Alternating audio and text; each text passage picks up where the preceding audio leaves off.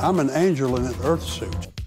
I am the number one most impactful artist of our generation. I am Shakespeare in the flesh. Walt Disney. Total freaking rock star from Mars.